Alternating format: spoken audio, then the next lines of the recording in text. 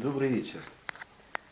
Вчера я разместил материал здесь, такую маленькую заметочку, пост такой, если это можно так назвать, о том, э, что важно осознавать, что ты говоришь, когда начинаешь э, какое-то действие. Хорошо ли ты осознаешь, к какой цели ты двигаешься и что нужно сделать, включая свой речевой аппарат, для того, чтобы твоя цель была достигнута. То есть я говорил о том, что нужно призывать человека к действию, если хочешь, чтобы он сделал то, что тебе требуется. Купил у тебя продукт или включился вместе с тобой в бизнес. И это, в общем-то, как раз и свидетельствует о том, на каком профессиональном уровне ты находишься. Если ты это осознаешь, если ты это понимаешь и ты стараешься выполнять эти требования, и у тебя что-то начинает происходить, тогда ты на профессиональном уровне. А если ты удивляешься, почему ты рассказываешь, никто ничего не покупает, тогда пока ты еще куку никто, мягко говоря. Учиться надо, совершенствоваться, это естественно профессия, потому что у нас такая. Но не всегда все зависит от навыков, которые мы профессионально получаем в этом бизнесе. Удачные продажи происходят у людей, которые кое-что знают, кое-какой секретной информацией обладают. Люди, которые проникли в определенные таинственные сферы. Люди, которые умеют использовать какие-то сверхъестественные возможности включать какие-то возможности, которые выходят за рамки привычных представлений, за рамки этого материального мира. Иногда можно достигать результатов, как раз вот включая такие рычаги, в том числе в бизнесе, в продажах, да и вообще в жизни. Зачем мне сделать такое вступление? Я тут уже как-то рассказывал, но думаю, что уместно будет, если я сейчас после вчерашнего сообщения расскажу историю, которая произошла со мной.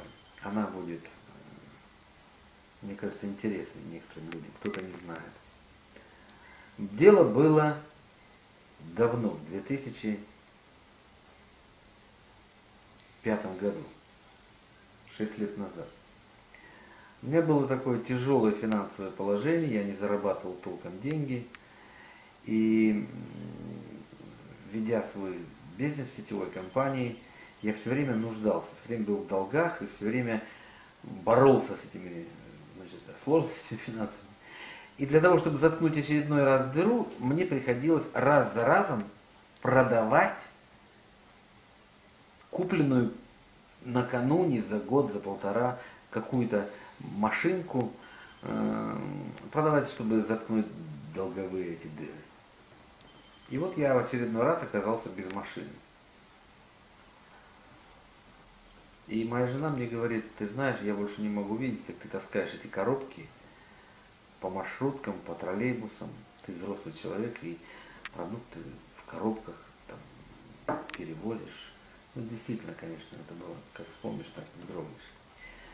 Э, в компании, в которой я работал, были продукты питания, косметика, это большие объемы.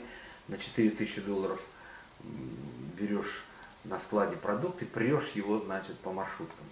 Из Симферополя, допустим, в Севастополь. Берешь пять коробок, а то в руки можешь взять только четыре. Одну коробку оставляешь сзади, все время глазом идешь, косишь, как бы никто не стырил. Две коробки, четыре коробки донес, поставил, бежишь за пятой, ставишь ее, и таким образом добираешься до маршрутки. Потом залазишь в эту маршрутку, едешь на железнодорожный вокзал, там садишься на автобус, с этими пятью коробками. Потом приезжаешь в Севастополь, но там, если уже позволишь себе, такси можно взять. А в принципе тоже в маршрутку загрузился и так до дома. Страшно вспомнить. И вот спасибо жене, она говорит, я больше не могу это увидеть, давай купим машину. Я говорю, да денег-то нет. Она говорит, я займу для тебя денег, все равно у нас бизнес попрет, мы разбогатеем, поэтому давай. Ну, я хоть человек ответственный, но так хотелось машину. И, короче говоря, она притаранила мне теперь тысяч долларов, 5, почему-то 5 тысяч. И говорит, надо купить хорошую машину, дорогую, за 5 тысяч долларов. Да. И отдала мне эти деньги, такая у меня жена. И я открыл тут же объявление в газете, жгут руки деньги, нужно скорее, машина, не терпешь, вот так вот хочется, скорее машину. Да, и позвонил по двум объявлениям, приехал на встречу, парень, Роман его зовут, познакомились, здоровенный такой парень, крупный такой, молодой, лет 35, наверное, парень, бывший милиционер, работает на рынке, продает радиозапчасти. Ну, в процессе потом я узнал. И смотрю, он мне машину предлагает. Ford Tempo. Не знаю я про такого темпа. Разные Форды знаю, но темпа не знаю. Я говорю, так это же американец. Он говорит, не-не-не, это не американец. Я говорю, да как же не американец? У него даже знак под это, под, под место, под номерной знак такой квадратный. Ты что мне рассказываешь? Нет, ну что вы. А в то время, чтобы вы понимали, в Украине, американ... да не только в Украине, в России, в то время в бывшем Советском Союзе, американская машина это большая головная боль, потому что запчасти. Запчасть, старая машина, конечно, 98 -го года она была, по-моему. Хорошем состоянии все, но американец. Коробка автомат, рычаг такой страшный.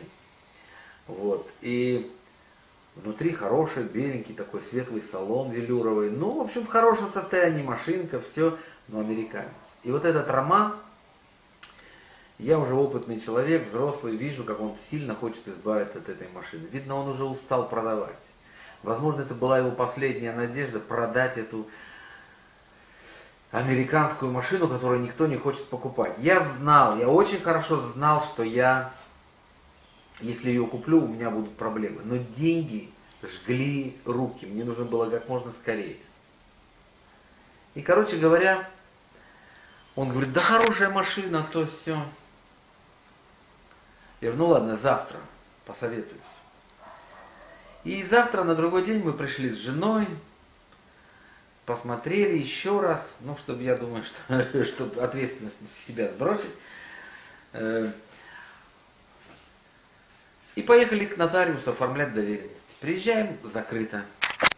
Нотариус не работает. Приезжаем ко второму, закрыто третьему закрыто. Субботний день. Дело к обеду. Я говорю, ну все, наверное, давай в понедельник уже. Потому что, ну видишь, закрыто все. А сам думаю, в понедельник я уже другую машину найду. Что его до американца покупать. Но он так взмолился, этот роман, он так взмолился, говорит, ну давай еще вот к этому нотариусу подъедем. Но если там уже нет, ну тогда все, ну пожалуйста. А мне уже неохота ее покупать, просто неудобно. Ну, короче говоря, я поддался ему, и машину охота, и, в общем, поддался.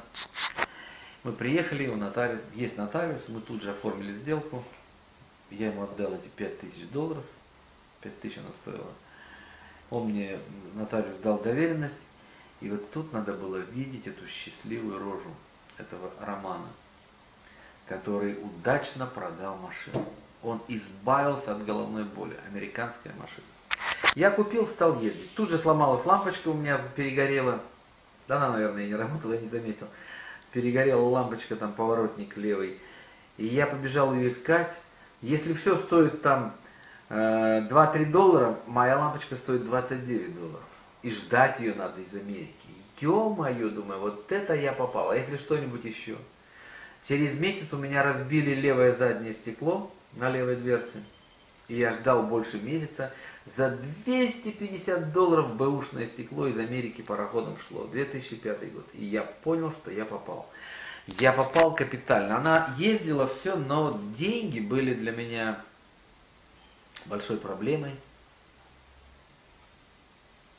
И я этому Роману несколько раз звонил и говорил, что ж ты, гад, мне подсунул. Тут, да нет, ну, Олег Григорьевич, хорошая машина, ну что вы так, ну не ругайтесь, ну бывает, ну, ну вроде того, что на все воля Божья, но если так получилось, значит так надо было получиться. Ну, в общем, не переживайте, успокаивал он меня. И тут подступали горячие времена, появился новый бизнес, который начал стремительно развиваться, и вот так нужны были деньги. Нужны были деньги для приобретения этого самого бизнеса, этих пакетов так называемых. Деньги вот так нужны. И я кинулся продавать эту машину. В хорошем состоянии машина, я за ней ухаживал. Никто не берет, даже никто не слушает. Я дал объявление в газету, позвонят, а какая машина? Я говорю, Форд Темп, это что за темп? Американец что ли? Я говорю, ну да. Да пошел ты. Даже никто не разговаривает. 4 тысячи долларов поставил, 3 тысячи долларов, 2 тысячи долларов, 1 тысяча долларов. Поехал в специализированный фордовский центр и говорю, ребята, за тысячу долларов возьмите на запчасти. Мне уже все равно вот так нужны деньги. Он говорит, сейчас, секунду, подожди, раз открывает компьютер, смотрит, не, какие запчасти? Таких машин в Украине две. Одна твоя и еще одного. Какие запчасти? Кому она нужна? Нет. Никто у тебя не купит, катайся сам. Я говорю, да мне деньги ну так нужны. Ничего не знаем. Короче говоря, моя мечта продать ее за тысячу долларов просто была неосуществима. Просто я понял, что все, это, с этой машиной я вечно буду барахтаться. И вот работает в объявлении в газете, я, ну, короче, не могу ее продать. Хоть волком вой, этого романа, думаю, попадись ты мне этот роман, я тебе всю правду расскажу про тебя. И вот как-то прихожу домой, жена мне говорит, кто-то звонил по объявлению в газете. Ай, это как узнать, что американец. Я уже так сразу, кто звонит, я сразу говорю, так, американец, Ford Tempo 98 -го года, цвет такой-то. Будете слушать дальше, что он американец? Нет, ну до свидания. Лишь бы быстрее сделать. Знаю, что никто не купит. И вот э, за тысячу долларов она не продается. И я вдруг вспомнил, ну как-то вдруг подумалось мне, подожди, так может быть к Богу обратиться? Может быть попросить Бога, может быть Он поможет, Он же ведь всемогущий, но с другой стороны неудобно. Ну кто купит, как Бог продаст американскую машину, которую никто не хочет даже смотреть? Неудобно как-то перед Богом просить за такие вещи. Но все-таки пересилил себя, помолился, сказал, Господи, пожалуйста, помоги мне продать. Я, конечно, извиняюсь за такую просьбу. Ну, ну, ну, может быть, как-то у тебя получится. Ну, даже не знаю просто. Ну, вот как-то так. Ну, что-то так вот робко, так вот неуверенно, так вот как-то приниженно. Так неловко мне было перед Богом. Помолился. И как прошло какое-то время, прихожу, жена говорит, звонок был. Был звонок, я зва... э... говорю, да, Раз, опять звонок. Я беру трубку. Здравствуйте, я по объявлению. А вот ваша машина какая? Я говорю, Ford Tempo, американец, 1998 года. понятно, а цвет какой? Я говорю, американец, американец, ты слышишь меня? Американец. Он говорит, ну я понял, понял. Ford Tempo 98 года, а цвет какой? Я говорю, ну вот золотистый. Ага. А посмотреть бы ее. Я говорю, ну, при... а кто это? Он говорит, Олег Григорьевич, это не вы? Я слышу голос знакомый. Я говорю, Роман, а это не ты? Он говорит, я. Я говорю, и что ты хочешь? И что ты хочешь?